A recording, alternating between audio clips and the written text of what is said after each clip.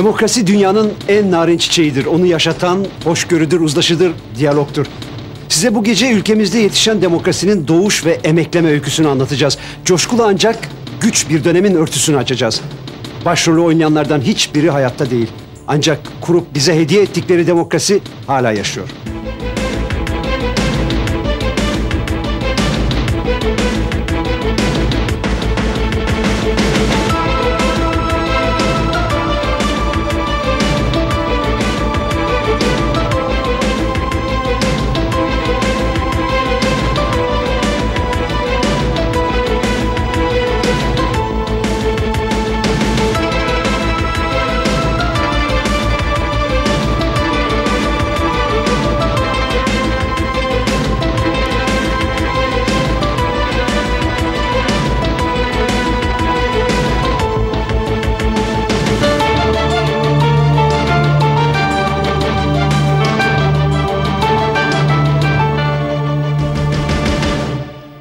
Merhaba. Tam 10 hafta süreyle birlikte olacağız ve birlikte yakın tarihimizin sayfalarını açacağız. Ee, kimi zaman heyecanlanacak, kimi zaman hüzünleneceğiz. Bazen ah keşke böyle olmasaydı diyeceğiz. Emin olun hep birlikte geçmişten büyük dersler alacağız. Ee, toplumlar nice üzüntülü gurur duyulmayacak dönemler geçirmiş olsalar dahi bazı olayları görmezlikten gelme yerine Aksine üstüne giderek işlenen hataları kabul ettikleri, sorumlulukları hissettikleri ölçüde büyüyor ve olgunlaşıyor. Artık yepyeni bir dünyaya, yepyeni bir döneme girdik. Eski kavramların, ideolojilerin, tabuların yıkıldığı bir dünya. Artık eski yaraları saklamak aman acaba ne derler korkuları yerine açıklığın, özgür düşüncenin, herkesin görüşünün serbestçe söyleyebileceği bir dünyaya giriyoruz.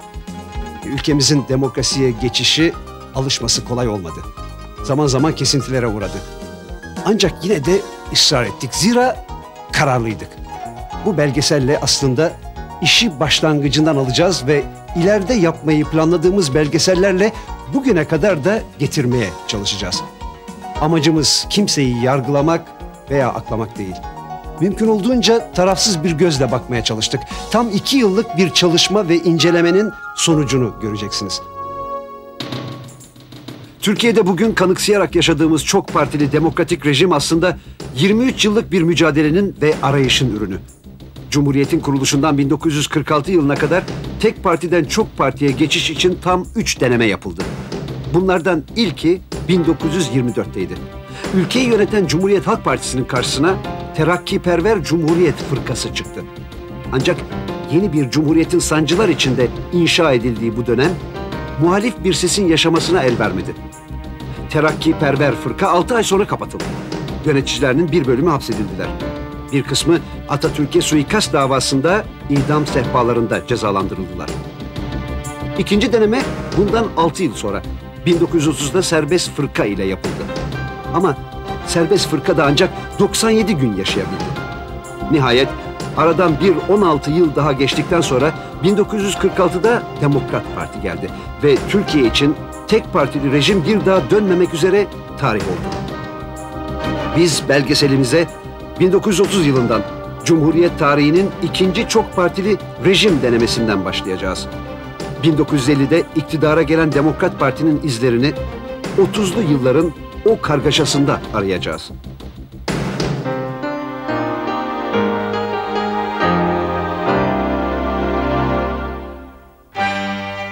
1930'larda iki tür Ankara vardı.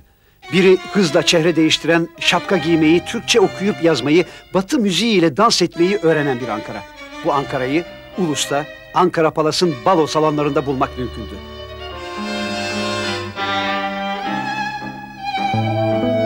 İkinci Ankara ise buradan çok değil. Ancak birkaç kilometre uzaktaydı. Ama yine de at pazarı Ankara Palas'a birkaç asır uzakmış gibi görünüyordu. Orada fakirlikten kaynaklanan bir memnuniyetsizlik insanların yüzlerinden okunuyordu. Dünyayı sarsan ekonomik kriz Türkiye Cumhuriyeti'ni henüz 7 yaşındayken yakalamıştı. Genç Cumhuriyet iktisadi dumlu pınarlar kazanma çabasındayken dünya çapında bir bunalımın ağına düşmüştü. Çankaya'da Gazi Mustafa Kemal yaverine şöyle dert yanıyordu. Bunalıyorum çocuk. Büyük bir ızdırap içinde bunalıyorum. Görüyorsun ya her gittiğimiz yerde mütemadiyen dert, şikayet dinliyoruz. Her taraf derin bir yokluk, maddi manevi perişanlık içinde. Gazi de bu duruma bir çare arıyordu. Yeni ve ciddi bir atılıma ihtiyaç vardı. Öyle bir atılım ki Türkiye'yi her yönden Batı ile bütünleştirebilsin. Hem ekonomik hem de siyasi destek sağlasın. Türkiye'yi çağdaş dünyanın içine soksun. Gazi'nin ideali buydu. Kararını hiç uzatmadan verdi. Ülkenin çıkışı çok partili demokrasidedir.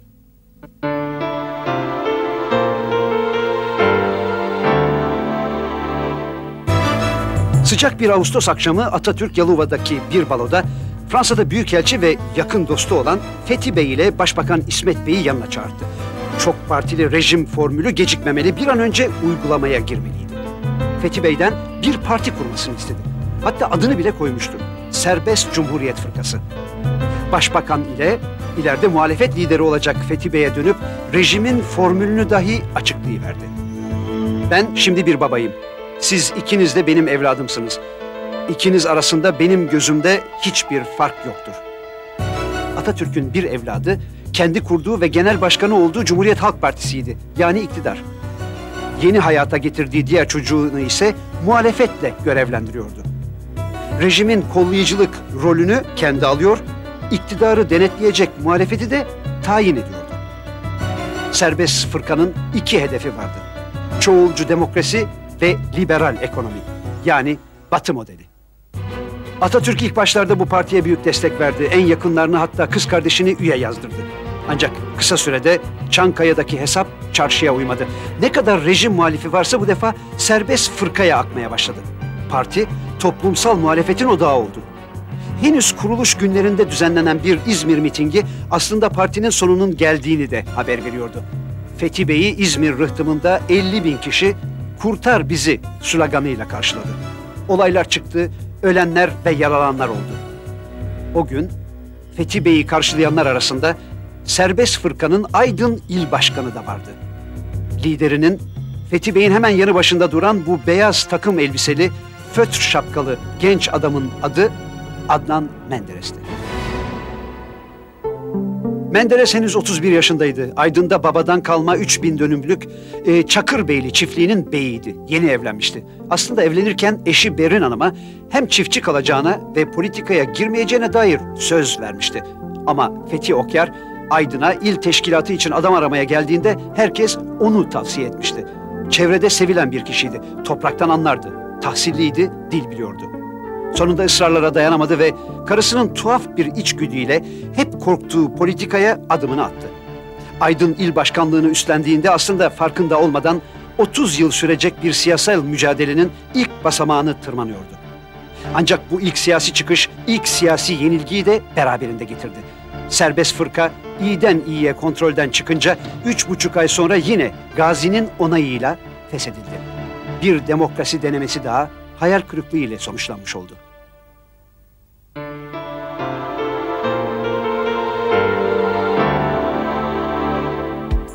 Serbest fırka kapanır kapanmaz muhalefetin sesi kesildi. Muhalifler yeniden CHP'ye yani eski yuvalarına döndüler. Adnan Menderes de Cumhuriyet Halk Partisi'nin Aydın'daki il başkanlığını üstlendi. Serbest fırkanın başarısızlığından ötürü umudu kırılmış, hevesi kaçmıştı. Ta ki 3 Şubat 1931 gününe kadar. O gün Atatürk Aydın'a gelmişti. Bütün şehir ayaktaydı. Gazi her yeri gezdi.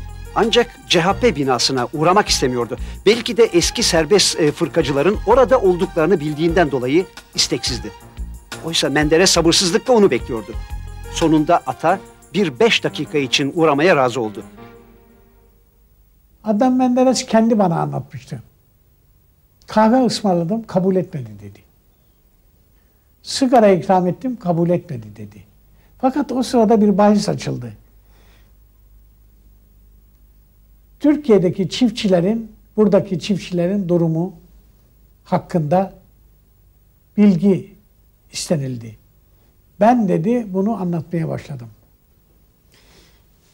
Türkiye'deki ekonomik durum dahil, çiftçilerin durumu dahil, bunların hakkında yapılacak tedbirler dahil olmak üzere ben fikirlerimi anlatmaya başladım. Atatürk sual sordu, ben anlattım. Atatürk ilave etti, beni konuşturdu. Sonunda beş dakikalık ziyaret tam dört saat sürdü. Bu dört saat içinde Atatürk bir paket gazi sigarası ve dört fincan kahve içti. O dört saat Adnan Menderes'in hayatının akışını değiştiren dört saat oldu. Atatürk Aydın'dan ayrılırken Menderes'ten konuştuklarına ilişkin bir rapor istedi. Yanındakilere de Adnan Bey'i övdü.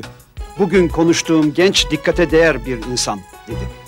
Birkaç ay sonra seçim döneminde Adnan Bey'in adı radyoda milletvekili adayları arasında okundu. Oysa kendisinin bundan haberi bile yoktu.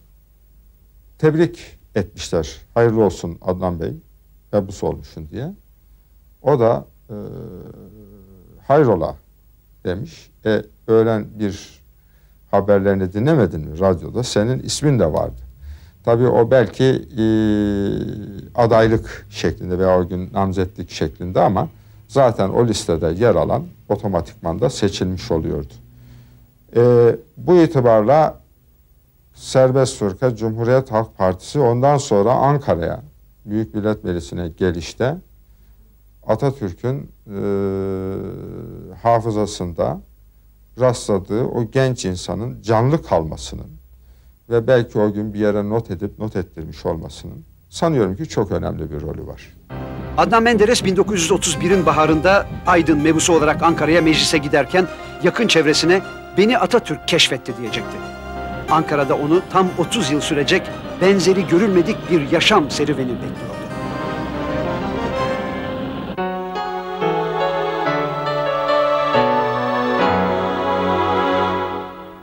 1933 yılında Cumhuriyet gençliğinin tadını çıkarıyordu. 10 yılda yaratılan 15 milyon genç akın akın Ankara'ya koştular.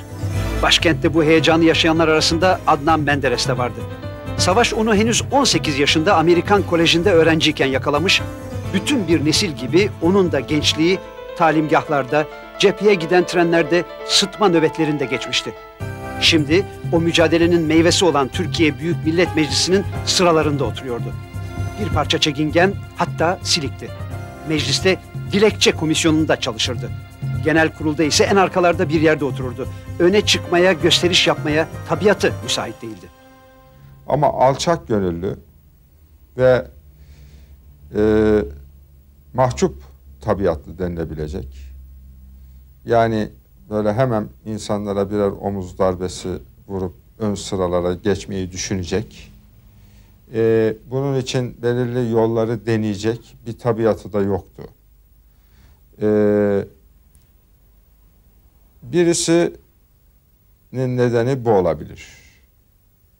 İkinci neden e, belki de serbest fırka olayının dan kalan bir duygu. Yani zamanı gelmeden bir işe girişilmemeli. Çünkü çiftçilik de buna çok uygun düşer. Traktörünüz hazırdır. Bütün aletleriniz hazırdır. Gübreniz, tohumunuz hazırdır. Ama toprak ve hava şartları bir arada uygun değilse eliniz kolunuz bağlıdır. İlla havanın belirli bir sıcaklığa kavuşmasını toprağında tava gelmesini bekleyeceksiniz. Toprak henüz siyasette tavına gelmemişti. Menderes için bu dönemde yapılabilecek en iyi şey kendisini daha iyi hazırlamaktı. Bir gece aniden üniversiteye yazılmaya karar verdi. Ankara Hukuk Mektebi'ne bir dilekçeyle başvurdu. Oysa lise diploması dahi yoktu. Milletvekili olduğundan okula kabul edildi. Böylece 33 yaşında bu kez bir milletvekili olarak yeniden öğrenci sıralarına oturuyordu. Menderes'in öğrencik yıllarında iki büyük olay yaşandı.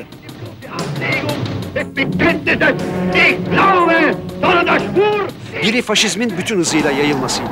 İtalya'da Mussolini, İspanya'da Franco ve Almanya'da Hitler ekonomik krizin birer ürünü olarak diktatörlüklerini ilan etmişlerdi. Dünya adım adım bir savaşa sürükleniyordu. Diğer sarsıcı haber ise 10 Kasım 1938 günü geldi. Artık Cumhuriyet Atatürk'süzdü. Atatürk öldüğünde silah arkadaşı İsmet İnönü onun e, başbakanı değildi. E, Ata ile tartışmışlar ve ilişkilerine bir fasıla vermeyi kararlaştırmışlardı. Bunun üzerine e, başbakanlığa Celal Bayar atanmıştı. Bayar İttihat ve Terakki'den bu yana Atatürk'ün yanındaydı.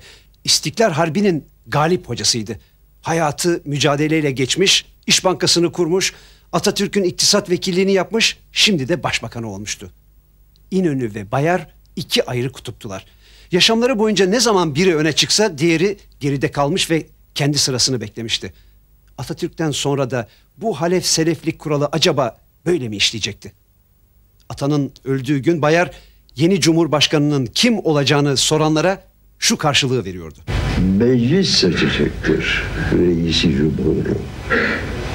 Bizim vazifemiz bizim vazifemiz meseleyi mal sahibine götürüp selametle teslim etmektir. Vazifesini ifade edebilmesi için. Ve ondan sonra da bir ekseriyetle kim seçilirse ona itaati sağlamaktır. Bu prensibe aykırı hareket eden babam mezardan çıksa onu asarım dedim. Meclis 11 Kasım 1938 Cuma günü olağanüstü toplandı ve Cumhurbaşkanlığına İsmet İnönü'yü seçti. İsmet İnönü o gün hatıra defterine şu notu düştü. Meclis çılgın bir halde 24 saat güç sabretti. Bütün memleket radyolar başında bekledi. Oy birliğiyle beni Cumhurbaşkanı seçtiler. İktidarda olmayan hatta iktidar mevkiinde fikrini sevmedikleri, korktukları bilinen bir çekilmiş adamın Cumhurbaşkanlığına getirilmesi rıza ile, serbest oy ile yapılmış hakiki bir seçim olarak tarihe geçecektir. O gün benim için diğer günler gibi başlamıştı. Ee, o gün öğretmenim geliyordu.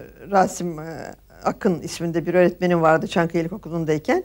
O geldi. Onunla beraber yukarıki odamda ders yapmaya başladık. Ee, dersimin sırasında kapı vuruldu ve beni aşağı çağırdıklarını söylediler. Babam beni görmek istiyormuş. Aşağı indim, bahçeye çıktım, hava güzeldi. Babam üzerine frak, frağını giymiş. Yanında Abdülhalik Renda, Büyük Millet Meclisi Başkanıydı o sırada.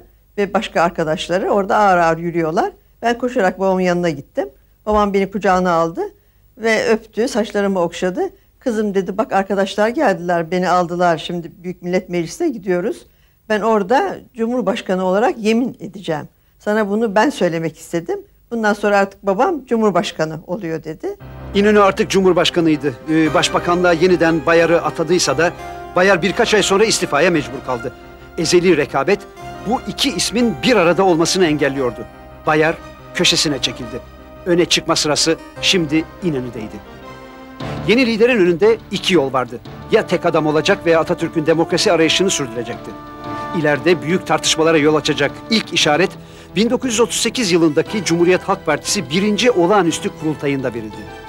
Parti programında değişiklik yapıldı ve Celal Bayar'ın başkanlık ettiği kurultayda İnönü değişmez genel başkan ilan edildi.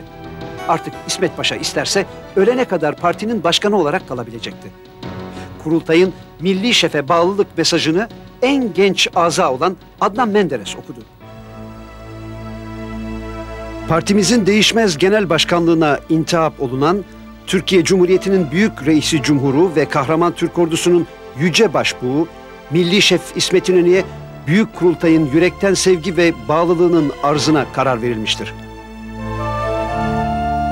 Talihin civlesine bakın ki bu kararı kürsüden iftiharla okuyan genç birkaç sene sonra bu okuduğu kararın en şiddetli muhaliflerinden biri olacaktı.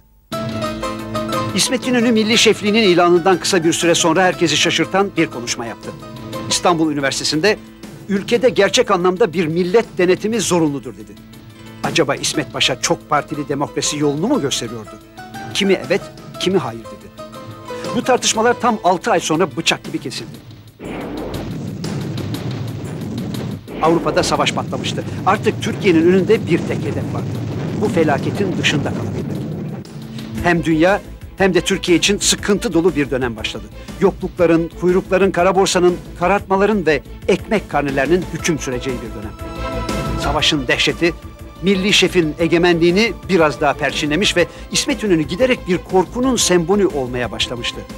Oysa artık yeni bir kuşak yetişmişti. Tek partili düzen onlara dar geliyordu. Genciz, üniversiteye gidiyoruz, okuyoruz, çiziyoruz. Söylüyorlar, anlatıyorlar, görüyoruz. Tek şefin ağırlığı çökmüş Türkiye'ye. Düşünebiliyor musunuz İnönü'yü yolda görmek mümkün değil. Çankaya'dan inerken yollar kapanıyor. Önünde motosikletler, arkasında motosikletler. Gümbür gümbür bir sesle iniyor ve işte böyle geçip gidiyor. E, bir adam kim bu İnönü geçti, İsmet Paşa geçti aman filan gibi bir takım korkularla büyümüşsünüz.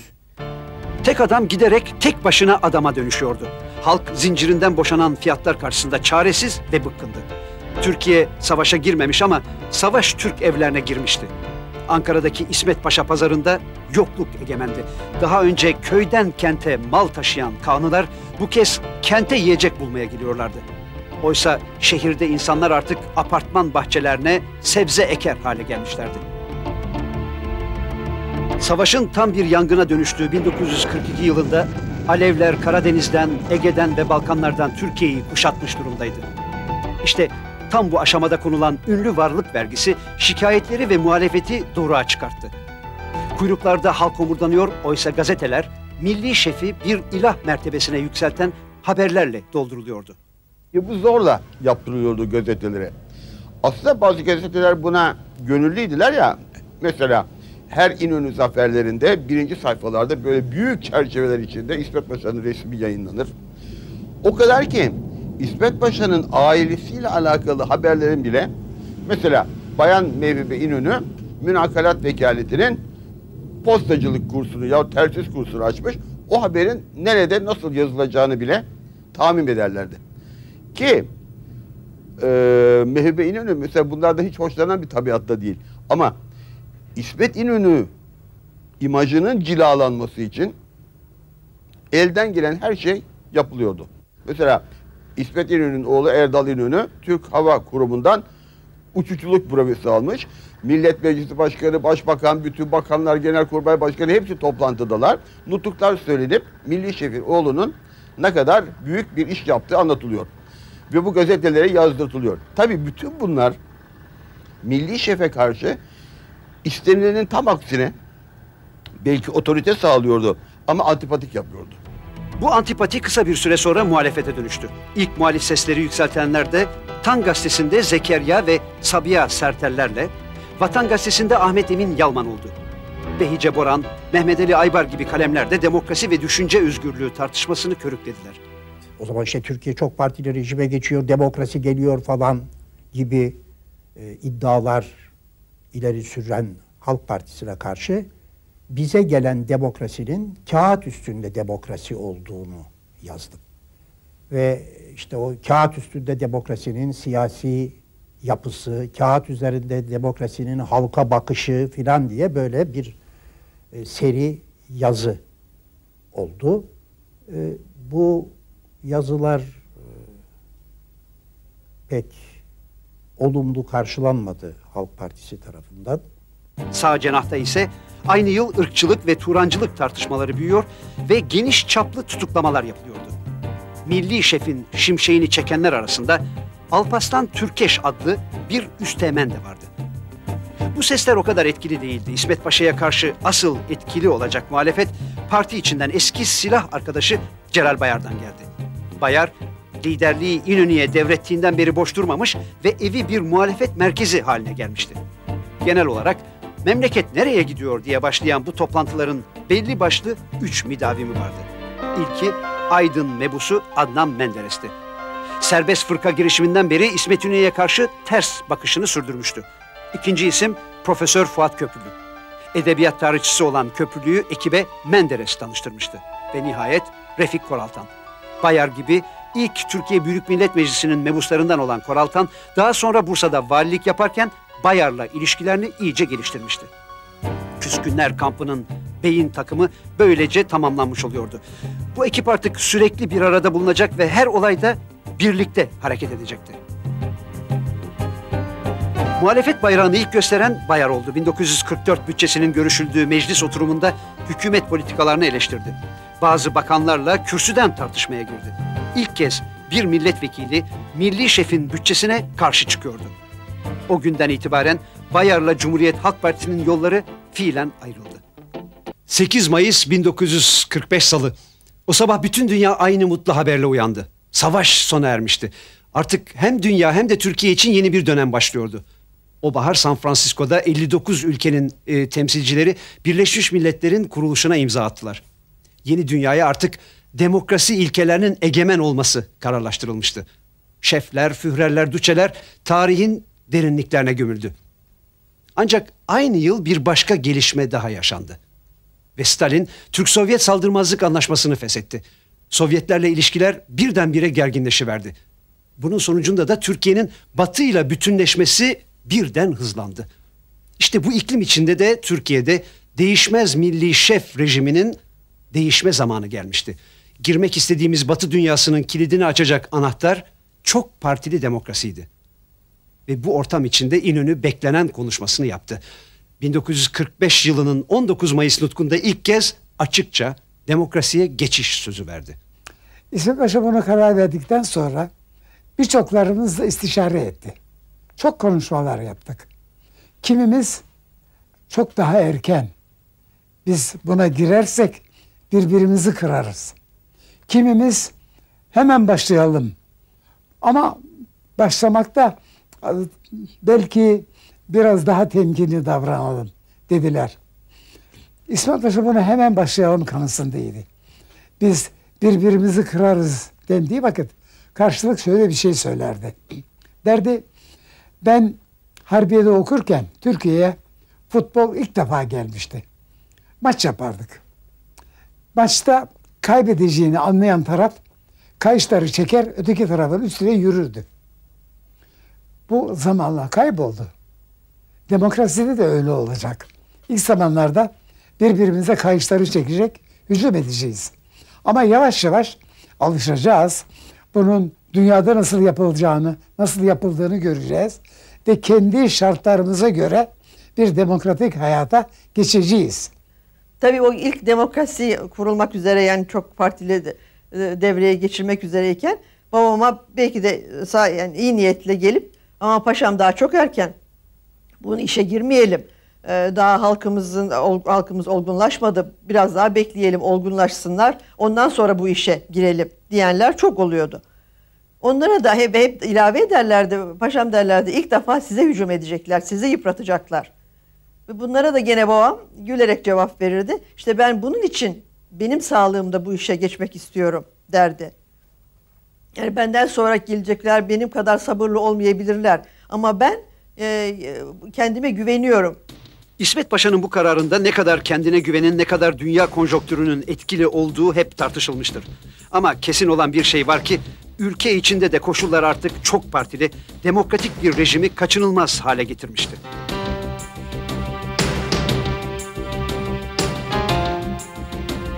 Böyle bir rejimin ilk provası ise aynı günlerde mecliste yapıldı.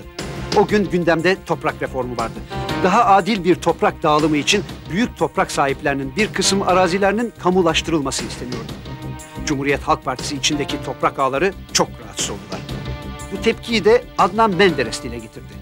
O güne dek pek ön plana çıkmayan Menderes elinde kalın bir dosyayla kürsüye geldi. Uzun ve çok etkili bir konuşma yaptı. Kanunun faşist olduğunu hatta Nazileri andırdığını söyledi. Kürsüden indiğinde yıldızı iyiden iyiye parlamıştı. O Mayıs sonunda yapılan bütçe oylamasında tam yedi kırmızı oy çıktı. Bu yedi muhalif oy aslında muhalefetin yeni kadrosunu ortaya çıkarıyordu. Artık muhalif grubun adı ve adresi belliydi. Şimdi bir çıkış yapmanın tam sırasıydı. Beklenen çıkış 7 Haziran 1945 günü Cumhuriyet Halk Partisi grubuna sunulan 3 sayfalık bir önergeyle geldi.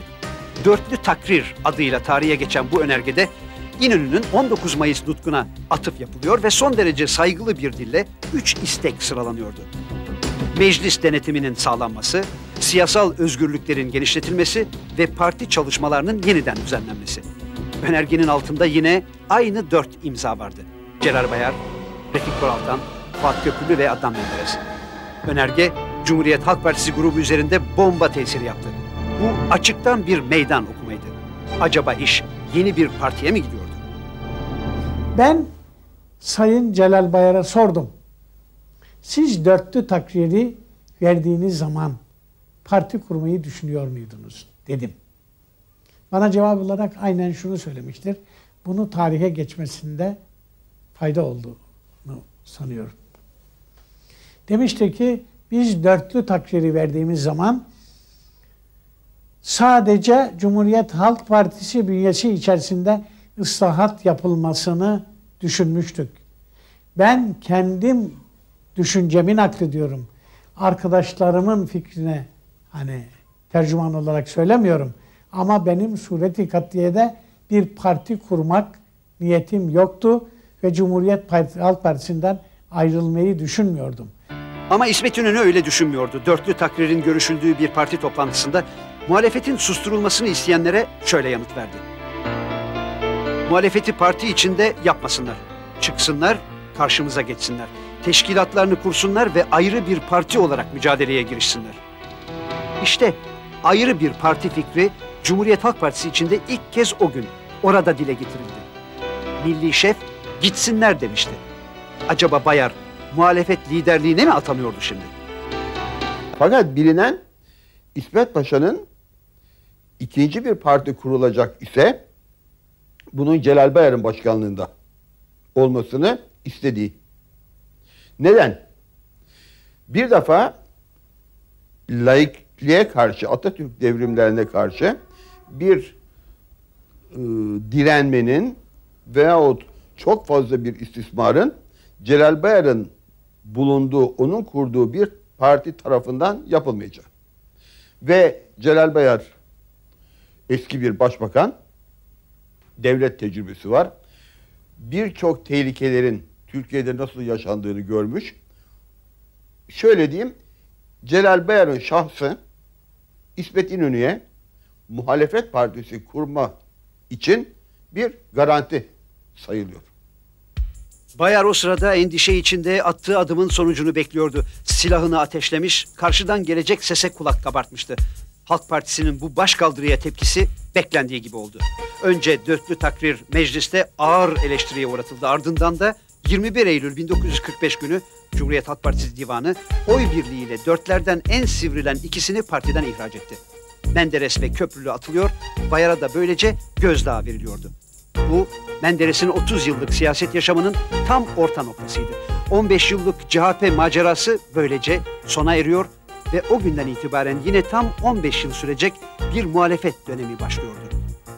Arkadaşlarının partiden atılmasından sonra şimdi gözler Celal Bayar'a çevrilmişti. Herkes Bayar'ın tepkisini merak ediyordu. Eylül ayında yazlıkta bulunduğumuz Çeşme'den dönerken babam e, milletvekilliğinden ayrılmak arzusunu bana açmıştı ve e, şimdilik bunu sana söylüyorum. Senden başkası bunu bilmiyor diye e, bana adeta bir sır tevzi, e, tevdi etmişti. İstanbul'a geldiğimizde yakınlarımız acaba babam bu durumda ne yapacak diye e, bana sual soruyorlardı. Tabii ben bu sırrı muhafaza etmek durumunda olduğum için hiç renk vermiyordum. Bayar bu sırrı bir hafta sakladıktan sonra açıkladı. Milletvekilliğinden istifa etmiş ama hala partiden kopmamıştı.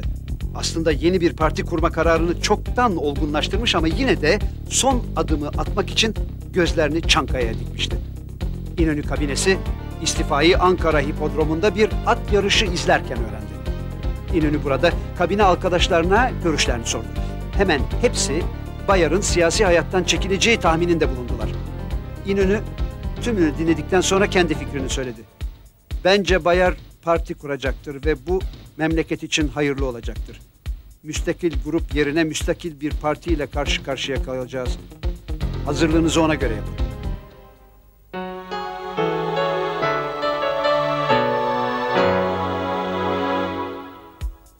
İnönü aylardır hatta yıllardır beklenen işareti nihayet 1945 yılında meclisin açılış nutkunda verdi. Bizim tek eksiğimiz hükümet partisinin karşısında bir parti bulunmamasıdır dedi. İnönü'ye göre daha önce yapılan iki girişimin tepkiler karşısında başarıya ulaşamaması bir talihsizlik. Ancak şimdi özgürlük ve demokrasi havasının doğal işleyişi sayesinde başka siyasi partinin de kurulması mümkün olacak ve 1947 yılında ilk çok partili seçim yapılacaktı. Bayar ve arkadaşlarının tabi Bayar'ın etrafında toplanarak bir har- bir part hareketine geçmelerini duyulduktan sonra sanırım ki İnönü Celal Bayar'ı nihayet Atatürk döneminden tanıması e, ciddiyeti üzerindeki e, bilgileri veya fikirleri daha e, olgun olduğu için sanırım e, böyle bir partinin kurmasını teşvik ederdi oldu, kışkırtır da oldu. E, böyle bir ortamda Demokrat Parti doğdu. Yoksa İsmet Paşa çağırdı Celal Bayar'ı sen işte majestelerinin muhalefeti ol, vaziyeti idare edelim. Sen arada sırada muhalefet gibi bir şeyler söyle ben de kar Böyle değil canım. Neden değil? Çünkü muhalefet olarak Demokrat Parti'nin 50'den önceki muhalefeti öyle e, yabana atılır bir muhalefet değildi. Sertti. Sertti. Hem de çok sertti. Bu sert muhalefete rağmen Bayar için Çankaya'dan artık yeşil ışık yanmıştı. Bu arada Refik Koraltan da partiden ihraç edilmiş ve böylece yeni oluşumun kurmay kadrosu tamamlanmıştı. Bayar, Menderes, Koraltan ve Köprülü. Yeni çok partili rejimde terazinin diğer kefesini bu dört adam dolduracak.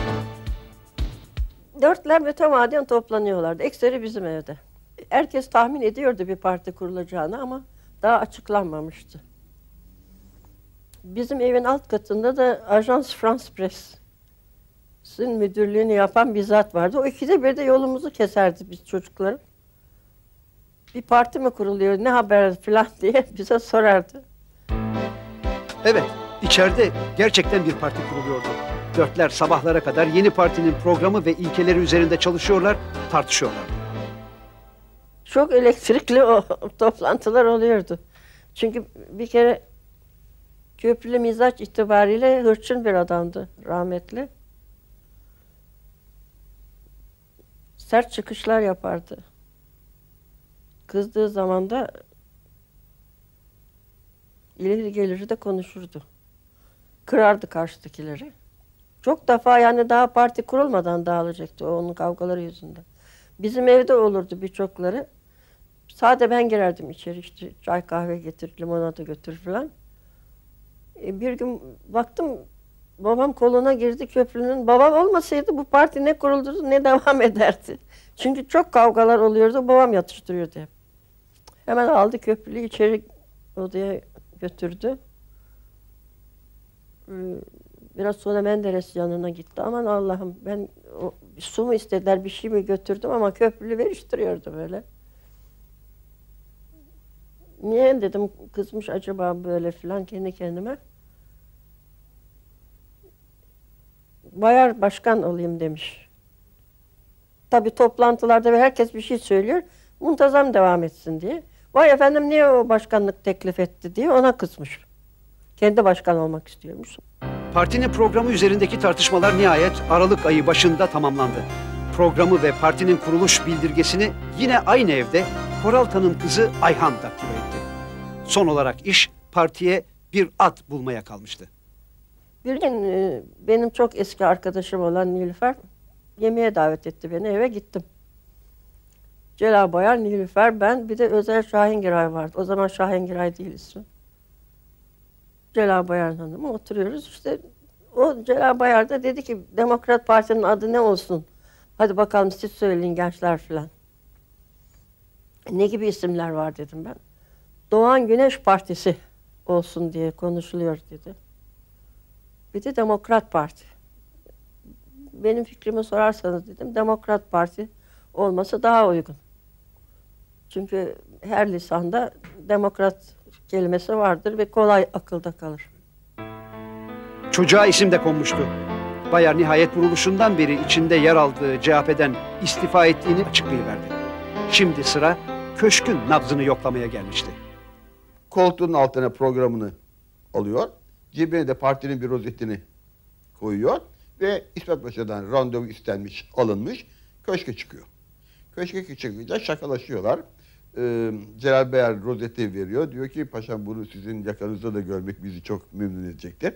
Paşa gülüyor. Asıl şu konuşma cereyan ediyor. Diyor ki İnönü programı alıyor ve soruyor. terakkiperverlerde olduğu gibi itikadı diniyeye biz riayetkarız diye madde var mı? Celal Bayar hayır paşam. Laikliğin dinsizlik olmadığı var. Ziyan yok. Köy enstitüleriyle ilkokul seferberliğiyle uğraşacak mısınız? Yani bunlara karşı uğraşacak mısınız? Hayır. Dış politikada ayrılık var mı? Yok. O halde tamam. Bu tamam aslında 23 yıl sürmüş bir tek parti rejiminin noktalanması anlamına geliyordu. Bayar Çankaya'dan dönerken Demokrat Parti'nin kuruluş vizesi cebindeydi. Milli şef artık geride kalmıştı. Şimdi demokrasi çağı başlıyordu.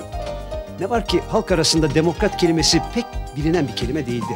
Demokrasi rejimi gibi demokrat kelimesi de halka yabancıydı. Ancak halk kısa zamanda bunu kendi diline çeviriverdi. Köy kahvelerinde demokrat yerine demirkırat denmeye başlandı. Demokrat Parti'den söz edilirken Demirkırat Partisi deniliyordu. Demirkırat giderek demokrasinin simgesi oldu Türkiye'de. Bazen dört nala, bazen gemlenerek, bazen şahlanıp, bazen tökezleyerek hep demokrasiye doğru koştu durdu. Ve 1946'dan itibaren de tüm ülkeyi sarsan inanılması güç olaylar yaşandı. Müzik